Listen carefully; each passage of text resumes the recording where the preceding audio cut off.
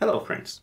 In my previous video I reviewed the Satsuki Yatoshi mod for the PC version of Final Fantasy VII. In this video I'm going to show you how to install it on your Steam Deck. The Satsuki Yatoshi mod is a fan-made HD upgrade for the PC version of Final Fantasy VII. I think it's the best way to play Final Fantasy VII these days. If you want to learn more about the mod, check my previous video. But for now, let's get installing it on the deck.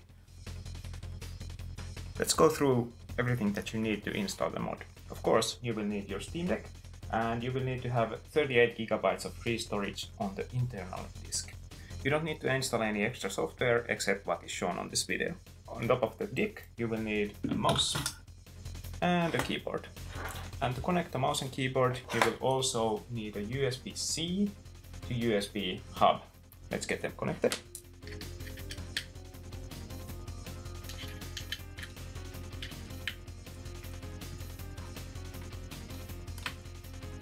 And to make things easier, I also recommend uh, connecting an external display and your power supply. If you want the challenge, you can try doing everything on the Steam Deck's touchscreen. So after you have plugged in your mouse and keyboard to the Steam Deck, uh, you can actually navigate the Steam interface with the mouse and keyboard. So first order of business is to open the desktop mode, and we can do that by the Steam menu, hitting power, and choosing switch to desktop let's open on Steam and at first we will go to our library. And first we need to install uh, Final Fantasy VII. You can search by Final Fantasy, okay, and there we have it click on it and click install, just a regular installation. I have had some trouble installing it on the external disk, so I'll be installing it on the native storage of the Steam Deck that's under home slash deck slash local. And while Steam installs Final Fantasy VII, let's open our browser. So your Steam Deck should come with Firefox browser. I have also Chrome installed, that's good as well. Let's go Firefox and let's search for the mod. So I usually search for FF7 uh, SIV and that should give you what we are looking for. So it's in this forums qhimm.com. And here scroll down a bit and you can find the uh, find full version for Steam installer here. So let's download that and save it.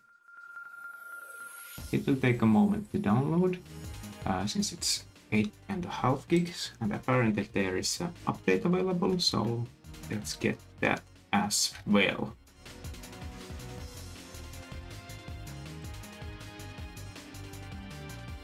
And uh, update downloaded already.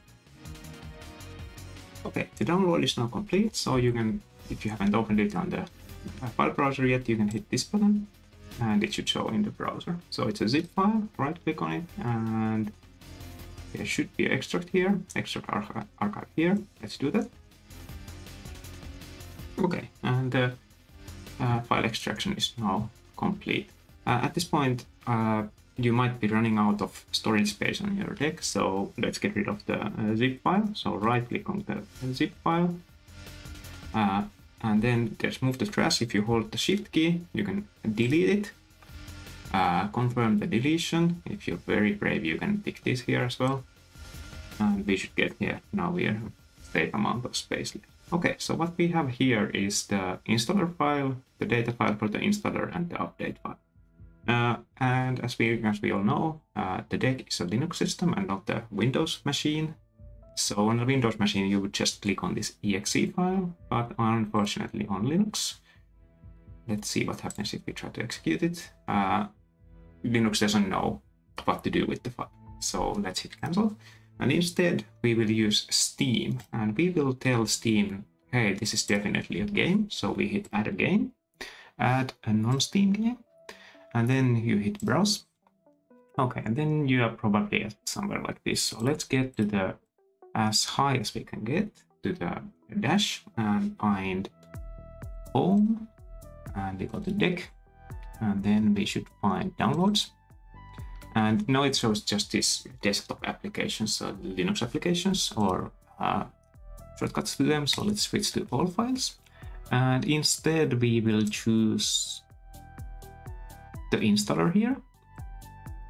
Let's hit open. And then let's also add the update. Okay.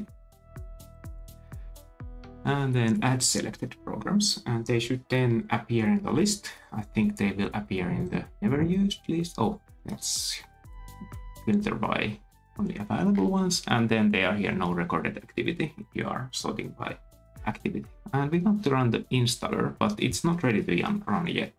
So right click on it and hit properties and hit use compatibility and force to use specific Steam Play compatibility tool.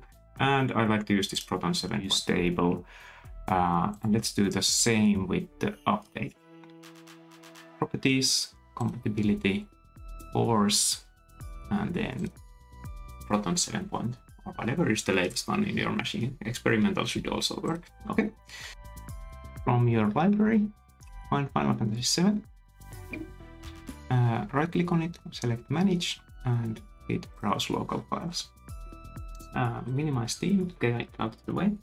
Unfortunately, Steam has installed the internal storage game on a hidden folder, this .local, which isn't visible to the mod installer, so we need to create a link to that. Uh, right click Final Fantasy VII here and select copy. Then hit the split view, select this right uh, pane and then hit the home folder.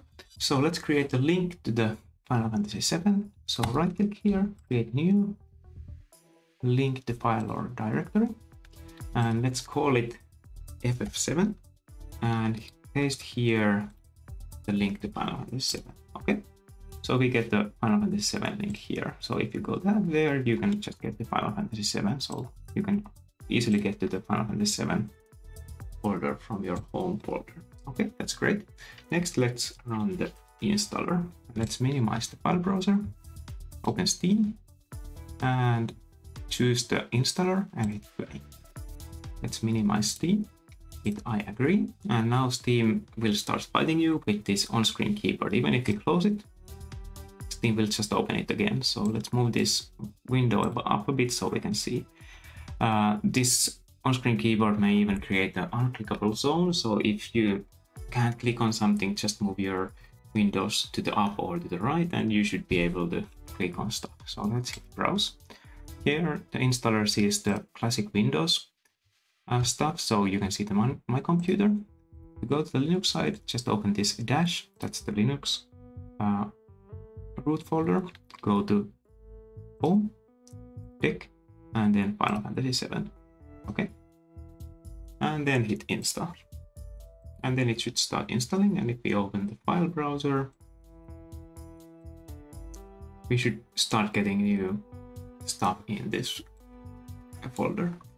It's a relatively big installation so this takes a moment so just wait for it. You can open the details view and see what it is exactly doing. I think this takes about 10 minutes to install even on a faster machine. If you're running on battery power you might want to move your cursor from time to time to prevent the Steam Deck from going to sleep. Okay, the installation has completed, so let's hit finish. And we have gotten lots of files here on the Final Fantasy VII folder. Okay, let's now install the update. So we have the update right here on the library. Hit play. And once again, let's minimize Steam to get it out of the way. Yeah, here we go. Once again, we have the change changelog here, so let's hit I agree. And Steam is starting the fight with the virtual keyboard, so let's just hit browse.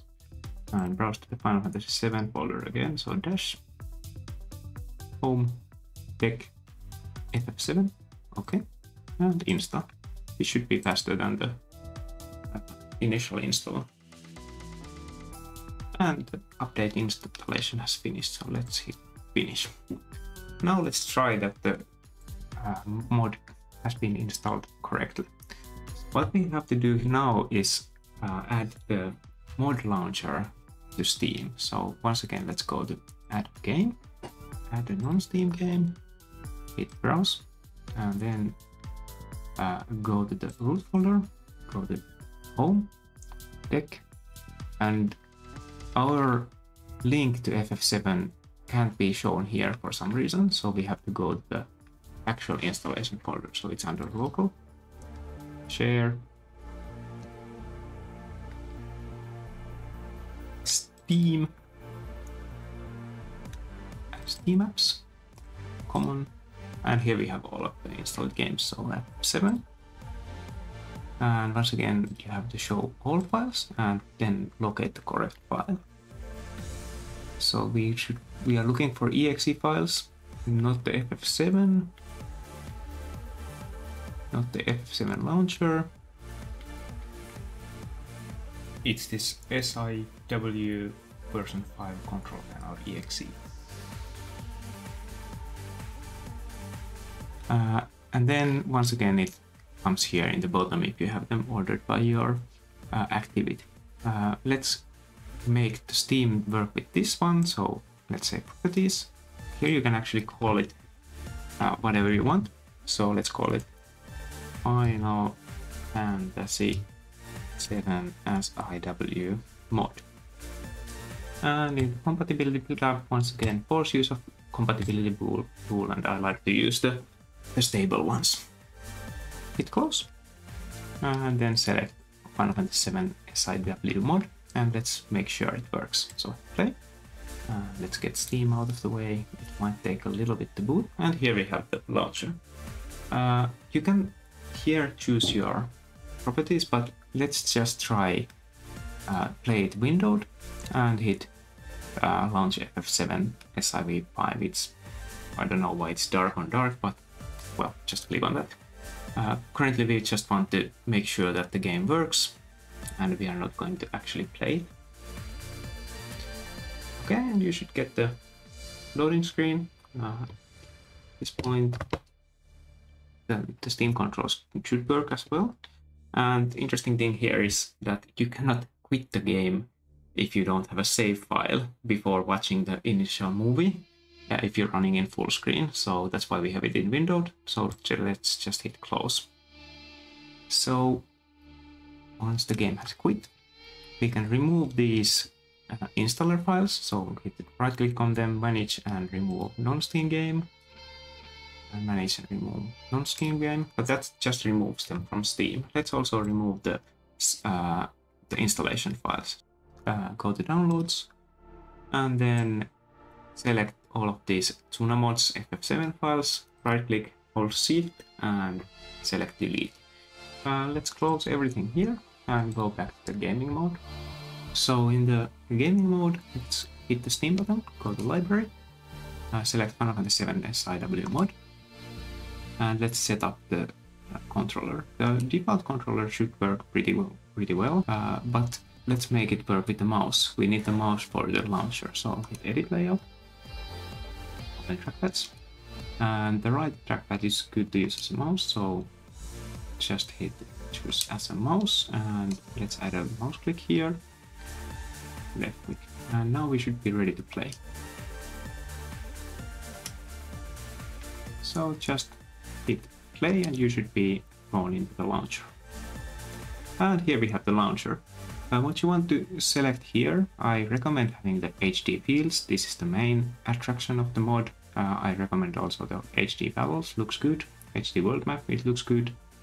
Uh, magic and effects, I like them. Fonts and menus, yes, like look much better. Uh, I've been using the 30 FPS FMV. Uh, I like the modern models and the HD minigames. Uh, I also like the transparent battle box, so let's enable that one. I don't care for the dynamic lighting, and but I like the PSX music emulation. Uh, then, if you want, you can enable the sound overall, but I don't really mind that. Uh, let's disable play windowed and leave the resolution to uh, auto, but I usually like to save battery with the super sampling just 2x.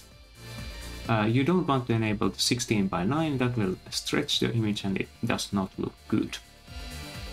Uh, one thing I tend to enable is the save anywhere feature, that's pretty nice. What I really do like is the full 60 FPS, so let's choose that and hit launch. And after a while the game should launch. Uh, you can skip the intros by hitting any buttons. In Final Fantasy VII, the rightmost button, the B button, is to select, and the, the bottom A button is cancel. So hit B to start the game. And that's how you install Satsuki Yatoshi mod on your Steam Deck. Have fun! I hope you have enjoyed this tutorial of installing Satsuki Yatoshi mod on your Steam Deck. Have a great day!